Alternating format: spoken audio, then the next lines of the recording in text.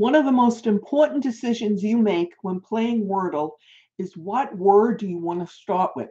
Before we get into the in-depth analysis, you need to decide if you just want to win or you want to win in the fewest number of steps. We'll come back to this after we go through some of the other um, issues which impact that decision, your best starting word. Okay, there are two factors that everybody needs to consider, vowels and consonants. Bear with me for a bit. Let's start off by looking at the vowels because they're the easiest to get out of the way. Now, a five letter word can have one vowel, two vowels, three vowels, or four vowels. So we're not going to address those few words that only have a Y in it because they screw everything up, to be perfectly honest. So let's start off with the easiest ones. Um, the words that only have four vowels in them. There are a number of them, but the most popular ones are Adieu, Audio, and Ouija, like, you know, uh, Ouija wood. And then there are a few more, as I said, obscure ones. If you're going to take this approach and use one of these letters with four vowels in it, I would recommend that you go with Adieu because it has both an E and an A in it. And those are the two most popular letters in the alphabet. Not only the two most popular vowels, but the two most popular letters in the alphabet. So you'll have a better chance there. And this is all about um, lowering your chances, or increasing your chances of winning.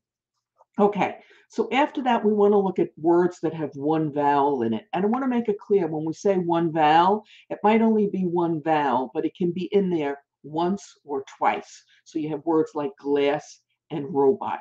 Okay, so that's one and four vowels. Um, I, I, would definitely not take the one vowel approach, but um, so let's move on and let's um, now go up to um, see what two vowel and three vowel words. Okay, there are over 14,000 two vowel, vowel words and only about 835 three vowel words, each of which have, you know, five letters.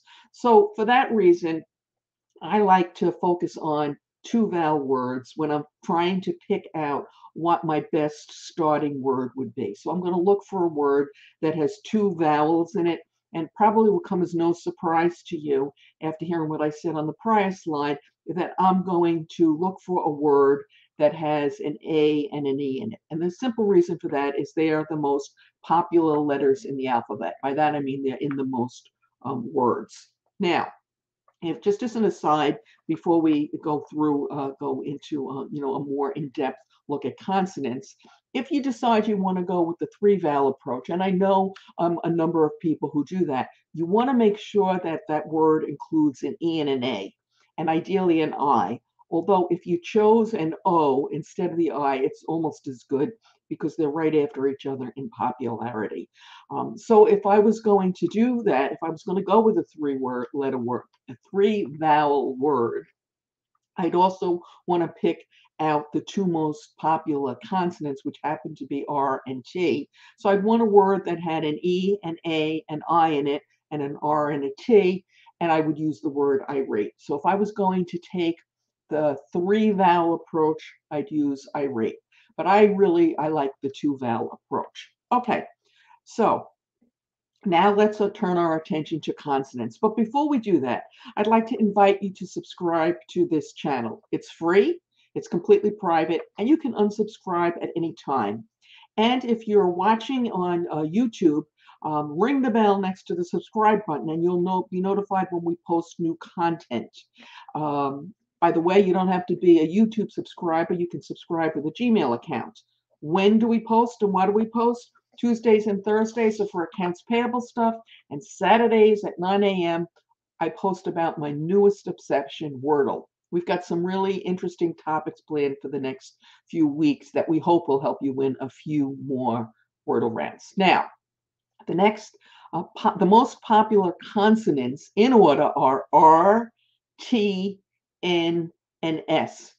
Now, when I looked at this, I thought that the starting word should have the most popular letters in the alphabet, um, two vowels, and then we're going to eliminate I and O because they are, you know, vowels, okay? And so the next consonants I found were T, N, and S.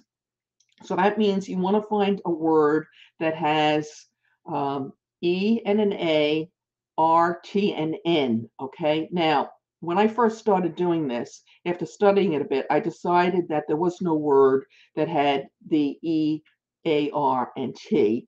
So um, I, I, threw in the S, took out the N, put in the next popular letter S, and I came out with tears and stares. And I always use tears because actually it was the first word that I thought of, not because I thought it was it's better than stare. And actually, I'm going to come back to, to that. Stare might be better because I've read somewhere, don't know if it's true, but thinking back on all the words that have been winners, uh, Wordle does not seem to use plurals. So tears with the S in the N, um, that doesn't seem that it's going to be work. So I, I try and make myself use stairs. But then somebody commented that earnt was a word. Now, my first instinct was, no, it's not. But then I thought, you know what? Why don't you do a little research? Because you don't know every single word in the English language. So I did.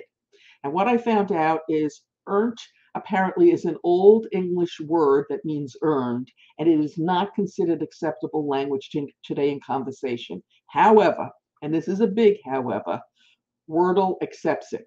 And how do I know? I tried it once. So technically, earnt might be the best starting word for, the, for you to use if you were using, looking to only have two consonants. But I have to uh, be honest, I can't bring myself to, to use it. So um, you, I use stare most of the time. So what is your best starting word?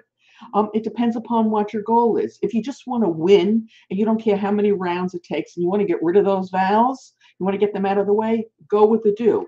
But if you're like me and you love the idea that occasionally you may win on the second round, and I, I'm going to brag, I did once, um, try stare, or if you must, earnt. We've got a whole slew of, of new uh, Wordle videos, of Wordle videos that will help you win your hands. We've got a link to that below in the show notes. On YouTube, a link will appear momentarily to the left. And as always, we appreciate those thumbs up, those subscribes, those shares, and those comments. Happy Wordling!